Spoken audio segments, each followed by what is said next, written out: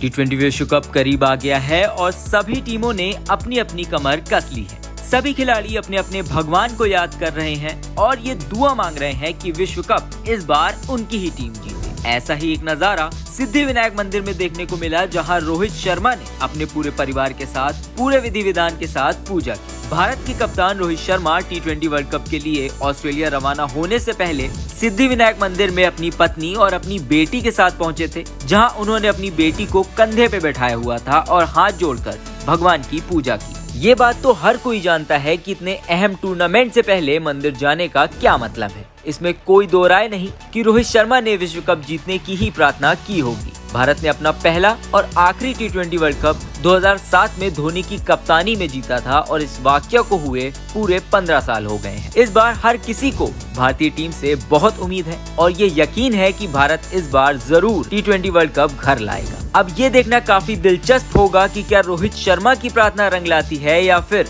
एक बार फिर से भारतीय टीम को निराशा हाथ लगती है। अगर ये वीडियो आपको पसंद आया हो तो इसे लाइक और शेयर करें और क्रिकेट से जुड़ी अन्य जानकारियों के लिए हमारे चैनल को सब्सक्राइब करना ना भूलें।